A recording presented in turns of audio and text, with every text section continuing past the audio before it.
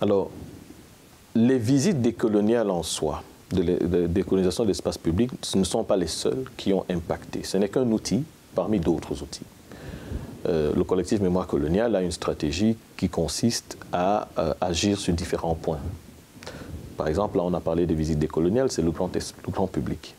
il y a aussi euh, des projets que nous menons avec des écoles, en Wallonie et parfois à Bruxelles, où nous pouvons aller là, pas faire forcément une visite décoloniale, mais parler des questions dites de colonisation et de racisme. il y a beaucoup de conférences sur lesquelles nous intervenons. Et de plus en plus aujourd'hui, pour prendre d'abord la société civile, il y a des groupes qui ont comme vocation de travailler avec ou pour euh, des personnes dites d'origine étrangère ou migrante, qui nous sollicitent pour revoir leur propre euh, euh, schéma. Bon, je, passe aux médecins du monde ou d'autres personnes qui nous interpellent pour que nous apportions un éclairage sur ce qu'eux font, de sorte à ce que s'ils véhiculent, et ils le véhiculent souvent, s'ils véhiculent des attitudes, des philosophies et des postures colonialistes sans en être forcément conscient, que ces biais puissent être levés.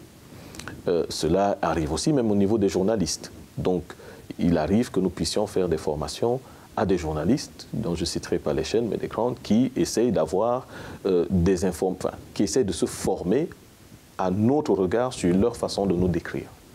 Euh, on l'a fait aussi pour les acteurs de cinéma, pour les réalisateurs avec la Fédération Wallonie-Bruxelles. Donc, les politiques, la société civile se rendent bien compte qu'ils ont des biais, y compris dans la manière de constituer, de concevoir des politiques, et que ces biais-là, aujourd'hui, euh, sont de moins en moins cachés.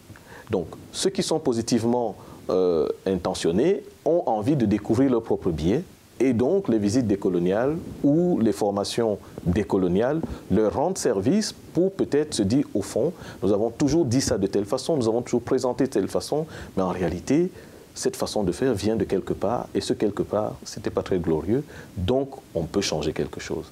Donc voilà l'impact que le fait des visites décoloniales a pu apporter, parce que très souvent, c'est parce que quelqu'un de ces groupes est venu à une visite décoloniale qu'ils contactent ensuite le collectif pour aller plus loin. Parce que naturellement, aux visites des coloniales, on leur dit qu'il y a moyen de faire plus.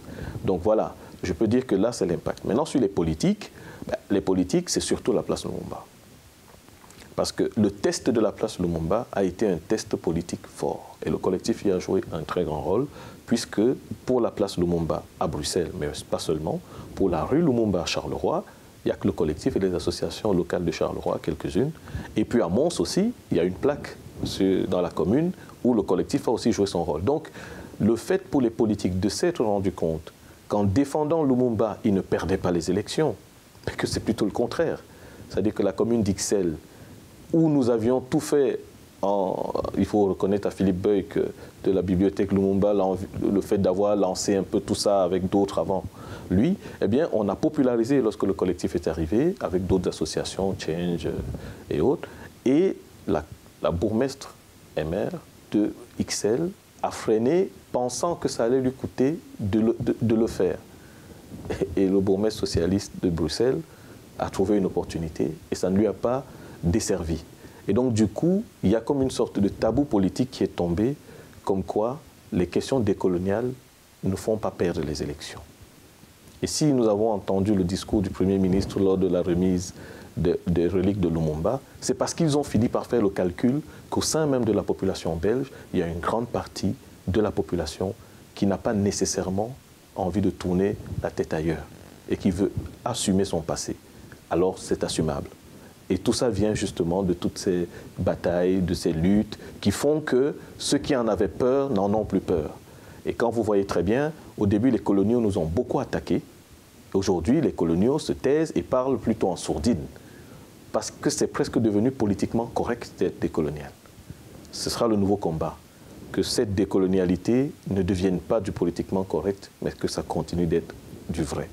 Parce que très rapidement, il y aura des tentatives de récupération du fait décolonial pour enterrer le vrai projet qui est qu'on disparaisse enfin, qu'on fasse disparaître le racisme de cette société et que les rapports issus de la colonisation ne nous impactent pas ad vitam aeternam.